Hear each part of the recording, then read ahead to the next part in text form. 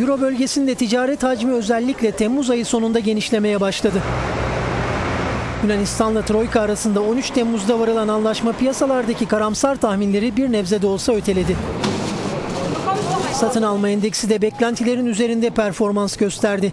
Endeks 50 puan barajının açık bir şekilde üzerinde 53.9 seviyesinde oldu. Analistler bu endeksteki eğimin yıllık %1,5'luk büyüme beklentisine uygun seyrettiği görüşünde.